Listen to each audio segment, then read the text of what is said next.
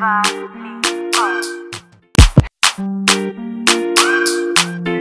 guys and welcome back to Diary of an Inner Fat Girl Cooking. So today we are talking about cooking for our kids. Sometimes it's so hard to find like healthy alternatives, you know, because they don't really understand, oh, I need to, to eat healthy, carbs, blah, blah, blah. So I found um, this recipe has been really a, a godsend. Um, while I was on keto specifically, um, but this is just a great way to make something for your children um, that uh, is, is a healthy alternative to what it would be originally. So I'm making fish fingers, cheesy fish fingers um, made out of cod, and I'm making some cauliflower cheesy mashed potatoes, and that's what I'm going to start doing now. So um, we've got about a cup and a half, two cups of cauliflower that's been boiling, and we're going to boil it till it's really soft. Um, this is almost um, good to go. And so while that's boiling and it's almost ready, I'm going to show you um, the different things. So for the cauliflower mash, I've got my coconut cream. I've got some whipping cream, which is only, I think, keto approved. So if you're on keto, I'm not on keto, um, but I eat a lot of keto influenced food. I enjoy eating keto. And uh, this is almond flour, and this is um, psyllium husk. And then we have salt and pepper. That's it. We're going to keep it really nice and simple uh, for the cauliflower mash. And then we now move on to our cod fish fingers. So here is a mixture of Parmesan cheese, almond flour, and that's basically just been uh, grated together in the food processor. And then we've got an egg here which we're going to use as our binder when we're making our breadcrumbs. Now we have some cheese. So then here we've got some ghee, which is um, what we're going to fry our fish sticks in. I've also put a couple of fish sticks in the oven, so I'm going to compare uh, the two. And then we have some coconut butter, uh, which I haven't decided if I'm going to use because we've got ghee, and I want to be careful about my fat intake. So first things first, I'm just going to pour out as much water as I can into this bowl. We're going to leave it here. And we're going to, the reason I'm putting it back onto the hot fire is actually off, but I want the pan to remain hot. So inside, I've got my cauliflower, as you can see in here. So I'm just going to add my coconut cream. And as I said, I personally don't measure food, but if you, and that's because I'm now at a weight that I don't mind losing the weight a little bit slower, so I'm just kind of enjoying the ride now. But if you know that you are, I would definitely measure it, find out the caloric value of all these things. I add a little bit of almond milk. I'm actually gonna add a little bit of ghee as a form of butter.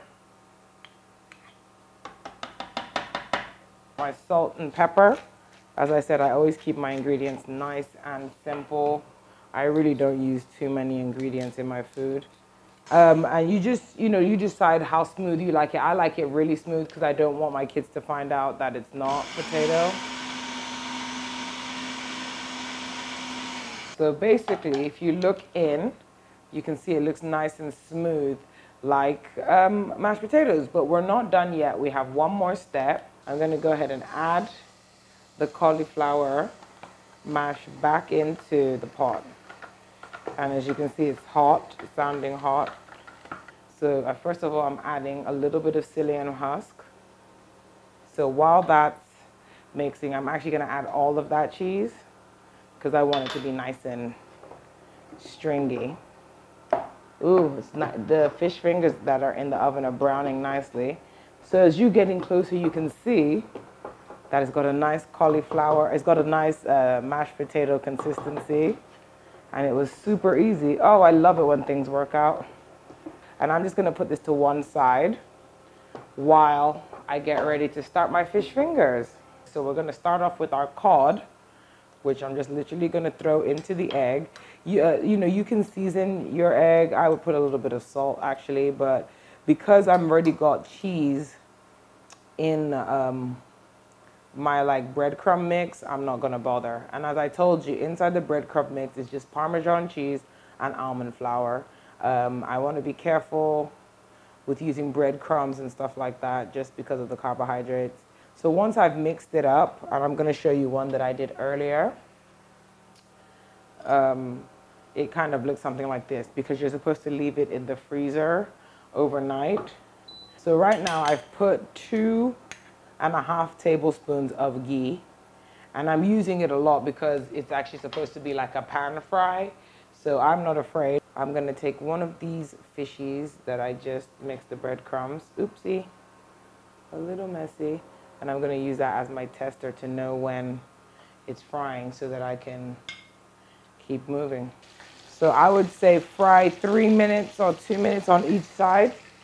So this is one that I made earlier. These are some cheese fish finger thingies, which came, they came out really well. Uh, so we have basically on over here, we have the baked ones, which I love how it came out not so oily. So then now we've got our mashed potato.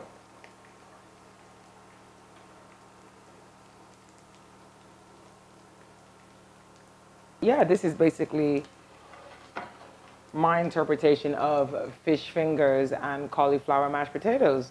So let me go ahead and taste it. So I tasted the baked. Let me taste some of the fried. And you can see it has the same consistency as potatoes. It's delicious.